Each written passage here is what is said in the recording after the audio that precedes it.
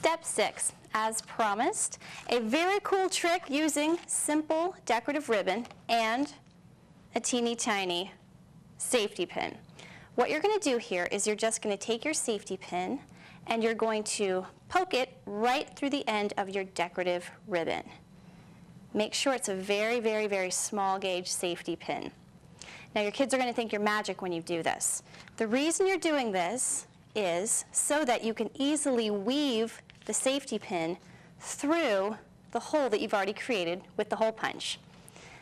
Now we're going to do about one, two, three lengths of ribbon and just cut it off. You want to make sure that you cut your ribbon at an angle.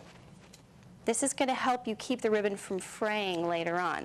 And I've got some really pretty red ribbon here with polka dots. It's orange and pink, very festive, very Valentine's Day, but you can get any kind of ribbon you like.